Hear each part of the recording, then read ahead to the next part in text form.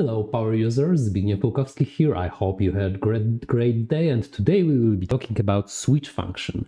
And what is the switch function? Where should when should we use it? What is the differences between switch function and if function? We will do a couple of easy examples. We will also set variable with switch function, something which probably you did not think about, but it's also possible. We will do also a colors with switch function and we will talk some aspects of switch function which you should you you should always remember. So without further ado, Zbigniew Łukowski in and let's start. Okay, so here I have a gallery with some data with the names, the IDs, etc. And the button, which we will look at the end. And what I want to do is to create a simple switch function, which we will use to determine the color based on the ID, just like it's, it's here already. So if I create the correct color, then this will be red, this will be yellow, this will be green, yellow, green, uh, red, of course. So let's start. For starters, I've uh, created the label. This is the just the label, and we have the the field property in this label. So in this field field property, I want to create a simple switch which should just change the color of this background of the label. Okay, so let's start. First of all, this is the switch function. Let's open parentheses. And in the switch value, we are addressing on what part of our data, our, our solution we will be working. This will be the same for all the results. So we cannot we cannot state that if I, ID of this item equals one, then this will be red. But if name of the of the field is like Kuba, then we want to have uh, a green option. No, we cannot do it. But we can do it in the match results. So we can also nest other functions in there. Okay, so our switch value can be, for example, this item ID, which, which is this number, of course. But it could also be transformed if you want. We can go with the I don't know, text functionality, and then uh, then transform it. So you can use any other functions in the first argument of switch as long as those uh, should be applied to each matching value and each result. Okay, great. So we have this item ID and first matching value is 1 which is red. So this is the, the match value parameter, as you see, this is the second parameter, and this parameter is 1. Then we want to set a color red. I won't use the RGB color uh, schema, I just will type red and this will be enough. So we can, if we close this parenthesis, you can see that the red is, is also there. Why the black is in the other fields? Because if there is no match in our switch function, then it will trigger blank. And in case of colors, it will be just black. So black will be null, will be blank. Okay, so we have another ID, which is 2, and then we can go with yellow, and we have matching ID 3, and it will be green. Cool. If I close the parentheses, it should work instantly. Yeah, it does. So as you can see, it copied all the exact functionality as I had. So this is working. Of course, if I I do want to have a default results, this will be the default result parameters. So after each match uh, value and match result, no matter how many there is there, you can have an optional parameter, which is default result. So in here, I can go with, with black if there is no match. But we have all, all the matches, so there is no black color here, but it could be done optionally. Now what is uh, what would be probably shocking for you, at least some of you, you don't you can nest other functions in this switch function. So if I want to have a special results, for example, if this item name, which is equal, let's go with Kuba. Now let's go with Ufa. Then I don't want to have yellow. I want to have orange or mm, no orange is okay. Orange and else I want to have yellow. So that means that Ufa should be orange and Duda should keep should keep the yellow color. Let's see if that, that is true.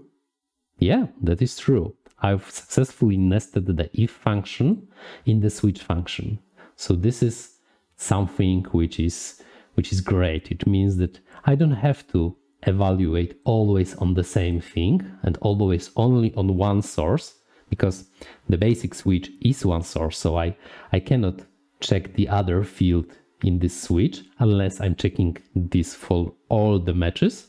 But I can trigger it in any specific and in any specific result to nest other functions. And I can nest it and nest it uh, nest it again, etc. This is possible. So great. Okay. So this is our first and easiest example. With the yellow orange, we have nested functions. I can also uh, create a switch function on the bottom to create a variable. I've already made an example, so we won't lose the time for coding. And what is there? What is here? Here I want to create a variable switched based on the switch function and this item ID. If the ID is 1, then this variable should be true. If ID is, is 2, let's go for now with false. This will be false. And if uh, ID is 3, then again true. If ID is, is not there, then false, but we can delete this because we have no such IDs. And we already have the function rolling. Let's go with semicolon at the end. It's a good practice and let's run it. Okay, so based on this, I have a label here, which show the variable switched and it show if variable switch, sorry, if variable switch is true or false. That means that this is uh, this variable uh, variable is boolean. But what happened if in the switch uh, variable, I, for, I, I just use it, uh, I just use the data type of boolean, but, but in any circumstance, I want to use just the different variable uh, type like text. So this data type is text and this data type is boolean. So variable switch, if each if it's a boolean, then this should be true. And it is true. The variable is boolean because I've pressed the the button with the with the ID 2. But uh, if I press the uh, sorry with the ID 1, but if I press the button with the ID 2, then then what happens to this variable? Let me sorry let me go, back to the button. And in the case of id2 I should already created the data type text which did not happen.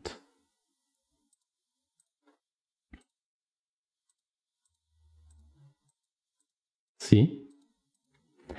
Uh, this data type is ignoring the the text val uh, value because it's not a text variable, it's boolean variable. We can check it in the variables. We can go with the variable switch, which is a type boolean and it's equal true. Okay, this is this is something probably which you, you may find weird, but actually what happens is that the variable itself it took the value which it had at the first switch uh, match result. So if I change this to to result and I will just try to hack it and and we will use the true but with the the double quota, which means that this variable is text now. See, the data type is text. And I use the button. What happened to the variable? Let's go with the variable and the variable switched is, is type text. So the boolean part is false because variable switch uh, is not true and variable switch is not false. Hmm. The variable switch is blank. That's interesting. Aha, true. Yeah, so you can see it's working. Probably the first time there was some kind of mismatch due to change of this variable type.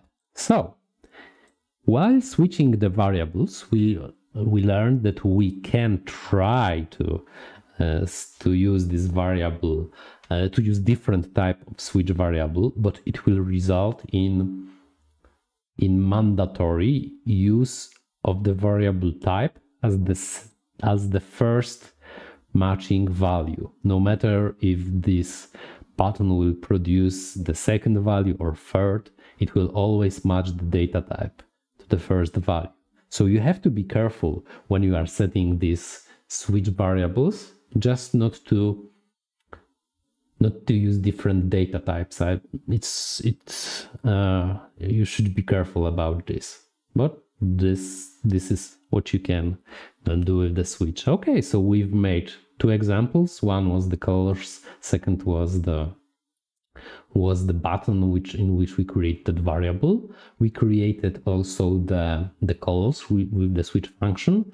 Now I want to talk about something which is important why should we use switch function and why we should we should not use the if nested if function. I know that some Power Platform celebrities like Shay, Shane Young is using only if function, but I believe this is the wrong approach because switch function is easier maintainable.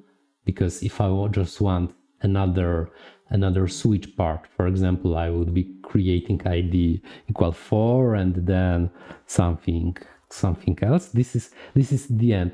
I've just created another switch switch part. But if I want to create an if, then I will have to nest that if in the in the second if. So if something uh, then do something else, do something else. And in the else section, I would have to repeat the number of times that uh, I want the results. So I will have to create four nested ifs if I want to, to have four, four results. It's, it's not only complicated to uh, maintain, but it's also less readable code, lower performance in case, for example, you are using a data source which you are patching or you are using the lookup. This can match up into really decent amount of times so you should always be mindful when to use switch i try to avoid using if if i have more than two uh, two step ifs and if i know that this could be also um, extendable in the future. I always keep my if uh, small and use the switch instead. So this is something you should be aware of. But uh, sometimes the people told that, hey, but I need the uh, ifs uh, with different kind of values to to iterate on. But hey, you can. I, I've just show you that you could use if in the switch function. So you, then it will avoid the so-called greatest downside side of switch functions. Basically, switch switch is better in most of the cases you know, in which you have many results. Be mindful, however, and hope you learned something. Zbigniew Łukowski out. Remember, like, subscribe, etc. if you like the content I have